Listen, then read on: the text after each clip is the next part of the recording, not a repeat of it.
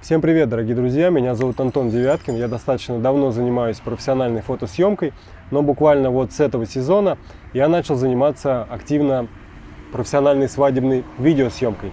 И сегодня я хотел бы с вами поделиться информацией, такими нюансиками, которые всплыли у меня вот буквально через несколько э, отснятых на видео свадеб. Поехали! Но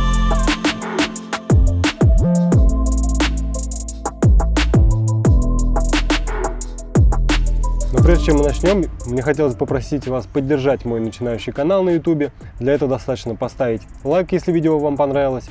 Возможно, подписаться на канал, если вы хотите в будущем смотреть видеоролики с моим участием. И оставить один какой-нибудь адекватный комментарий. Огромное спасибо. Ну так вот, насмотревшись всяких обучающих материалов по свадебной видеосъемке, я понял, что основная концепция профессионального подхода к этому заключается в том, что ты встречаешься с молодыми до э, основной церемонии, да, и обсуждаешь вообще, какой бы материал они хотели получить в итоге. То есть э, короткий клип, там, ролик 10-минутный или э, целый свадебный фильм, да, там, полуторачасовой или больше.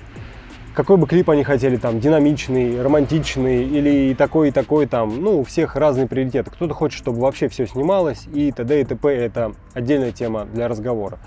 Ну вот, как бы мы встречаемся с людьми, мы с ними обсуждаем, что вот они хотят такой-такой-то материал, я говорю, все, окей, я буду снимать так-то, так-то, чтобы потом сделать такой-то клип или фильм. И все хорошо, но после отснятого свадебного дня получается, оказывается, что песни-то, которые подойдут под данный клип, например, романтические, они не подходят. И ребята уже хотят более динамичный ролик. А как получить более динамичный ролик из того, что мы отсняли все очень плавно, и у них такие все плавные проводочки, наездочки, они в основном не бегали. Конечно, можно сделать динамику, да, но э, смотрел динамич, динамичные клипы, и там в основном все, всех так все быстро, они там бегают. Ну, короче, вот эти непонятки, они очень мешают. То есть ты уже себе в голове картину обрисовал, а по факту люди тебе говорят, а мы теперь другое хотим.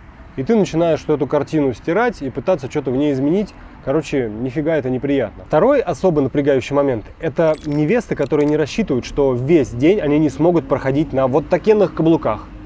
То есть у нас есть невеста красивая, все классная. Она говорит, ну я никогда почти не ходил на каблуках, но вот сегодня же свадьба, я хочу, чтобы я была там одного роста с женихом, да, я хочу выглядеть классно. Я буду у нас там три часа прогулки, я буду на каблуках. Я говорю, ну ты выдержишь точно? Она, да, да, конечно. И в итоге через полчаса прогулки, то есть сначала там проходят э, сборы, да, ну, фиксим, там она без каблуков, то есть проходит выкуп, она на каблуках, там э, едем, едем, едем, едем, едем, ЗАГС, она на каблуках, и потом начинается прогулка, полчаса, у нее такое лицо, у нее ноги болят, она не может стоять, и, соответственно, ну, сниматься по-хорошему она тоже не может, то есть просто как-то постоять там на фото она может, но для видео нужно движение. И потом виноватыми остаемся в этом все равно, в конце концов, мы видеографы, потому что мы не сняли. Извините, как мы можем снять, если вы не рассчитываете, что вы не сможете всю прогулку проходить на каблуках? Если вы не можете, берите с собой запасную обувь. Там кроссовки, балетки. Сейчас как бы в белых кроссовках люди фоткаются. Жених там в белых кроссовках, невеста в белых кроссовках. Все бегают, все классно, все прикольно. Как бы. В общем, Задумайтесь об этом. Следующий и третий по счету момент – это ты спрашиваешь ребят на предварительной встрече, а как тебе можно снимать? То есть можно ли тебе лезть прямо в эпицентр, особенно это касается банкета, там подходить близко-близко со стабилизатором, ну ты же профессиональный видеограф, ты, ё-моё. Вот.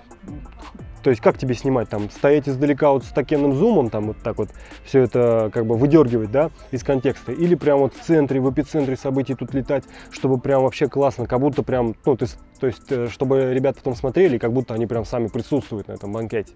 То есть FPV от первого лица, типа. И они тебе такие, конечно, конечно, снимай. Я говорю, ну, никто не будет против. Нет, мы всех предупредим.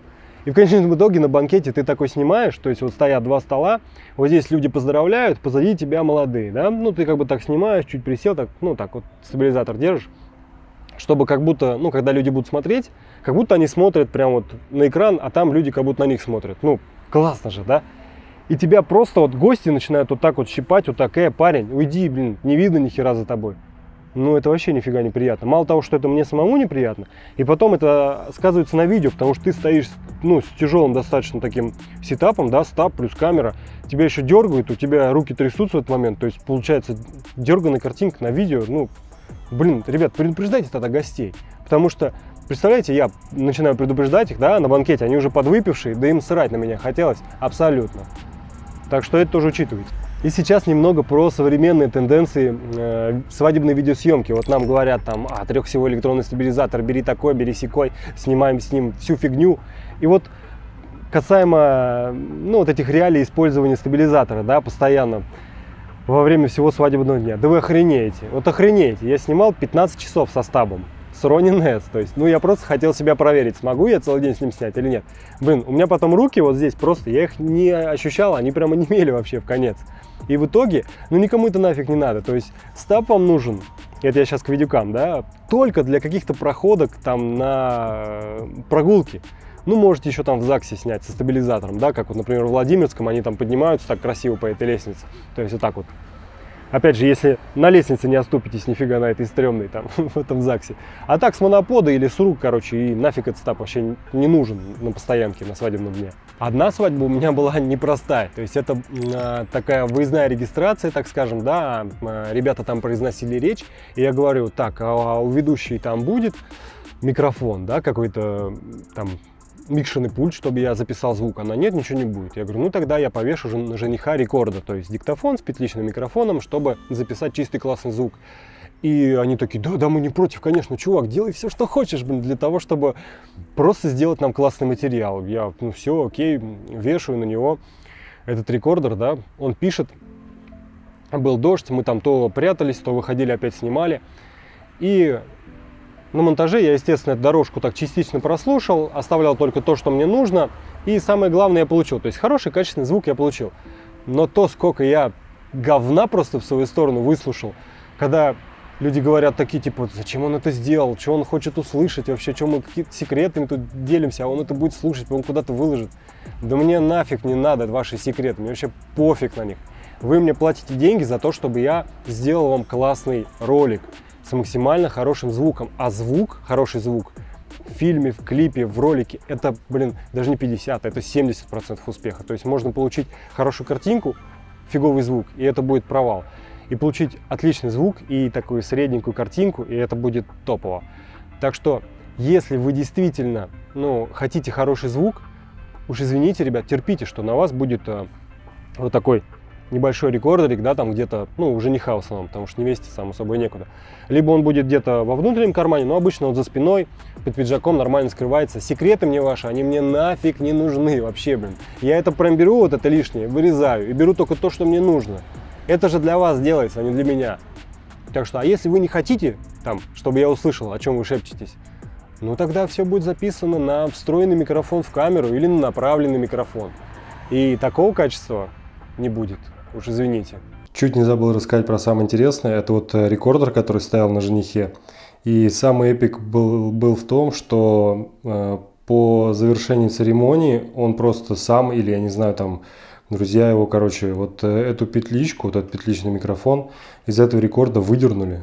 То есть э, якобы, чтобы я не услышал чего-то лишнего там. Ну, блин, она мало того, что вот она здесь на резьбе, то есть она не просто вставляется, она еще и закручивается.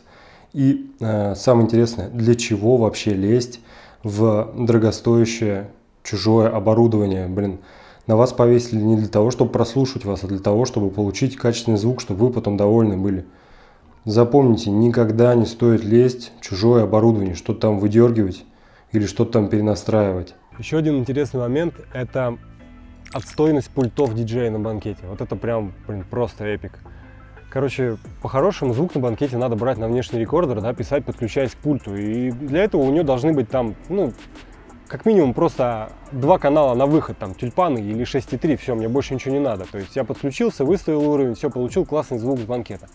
Но, блин, иногда реально такие рекордеры, они где откопали, там, в Советском Союзе где-то, там даже выходов нет просто, чтобы звук подключить. Но круче всего бывает, когда вот все, классный микшерный пульт, все, там есть такие выходы, есть такие выходы, ты подключаешься, все хорошо, но когда чувак просто накручивает громкость у себя, то есть я пишу несколько дорожек для того, чтобы их делать э, разного уровня. В случае, если он там накрутит или кто-то в микрофон заорал, чтобы это не было с перегрузом. Вот. Три дорожки пишу. Окей. И чувак просто там у себя прибавляет, и у него пульт просто не вывозит этот сигнал. То есть у него на самом пульте идет перегруз. Он идет в колонке, и он, соответственно, идет уже в мой рекордер. И как бы это перегруз не у меня, это у него перегруз. Я, конечно, понимаю, что, ребят, если вы собираетесь там жениться, то вам эта тема вообще пофигу. Но просто учтите, что не всегда в записи звука на банкете виноват видеограф. Иногда виноват диджей, блин. Потому что просто они не хотят вкладывать бабки в свое оборудование. Они вот купили его когда-то, и там, блин, в изоленте уже, в клее, в соплях, уже там в проволочках все. Но пока оно вообще окончательно не сдохнет, они другое не купят. Ну, особо, конечно, у меня вот подгорает от людей, которые хотят прям ширпотреба. То есть они, мало того, что они хотят и видео, и фото, то есть, чтобы ты вот видеокамеру себе вот так вот закрепил, да, она такая смотрела, снимала это все. Причем сама крутила куда надо, а ты вот момент фоткал, короче. И еще, чтобы у тебя здесь э, микрофон был, и ты вел, короче. И все это за 500 рублей. Ну, это ладно, старый прикол, фиксим. Вот. Короче, люди хотят ширпотреба. Много всего. Прям все. Э, они такие, а исходники там скинешь? Я говорю, конечно, скину, без проблем вообще. Ну, я говорю, ну, они у меня такие эти. Ну, то есть я снимаю они такие сероватые будут, короче, ну, как бы не цветастые, потому что я же потом крашу там, ну, хочу все, я же, блин, хочу стать нормальным видюком, хочу все делать красиво, вот. Они такие, да, да, да, пофиг, кидай нам, короче, все. А потом, когда они слышат, что эти исходники будут весить 100 и больше гигабайт, они такие... То есть люди хотят все, всего, всего, все хотят получить от тебя. Но они не задумываются, что им это нафиг не надо. Ребят, я и так вообще ничего не вырезаю. То есть я прям все оставляю, все монтирую, что вам надо, не надо. Блин, вы сами потом разберетесь. Если вам нужен там пятичасовой этот банкет, я вам пятичасовой его сделаю. Это как бы, мне это без разницы. Вы меня нанимаете, что хотите, я вам то сниму. Что хотите, то смонтирую, как бы. Так что сами смотрите, нужны вам эти исходники, не нужны. Они, короче, сговорились, сейчас оттуда толпа туристов выйдет, они такие облепят этот музей и будут мешать нам снимать. Алло. Кто не говорит в микрофон, тот не попадает в видео. Вован, привет. Мне недавно товарищ, он снимал свадьбу на фото, он мне рассказал случай один. Значит, они э, приходят на банкет, и там ведущий начинает свою фразу с того, что, дорогие гости, кто не говорит в микрофон, тот не попадает в видео. Ты, и это на самом деле, это очень важно, потому что э, нам предъявили, мне предъявили, за то, что я не снял на банкете, как там один человек кое-что говорил другому. Но сам прикол в том, что Тамада в этот момент, то есть ведущий, ведущий, не будем говорить Тамада, это не, не современно. Вот. Ведущая в этот момент, она находилась вообще в другом месте и разговаривала с другим человеком, то есть микрофон она давала другому человеку.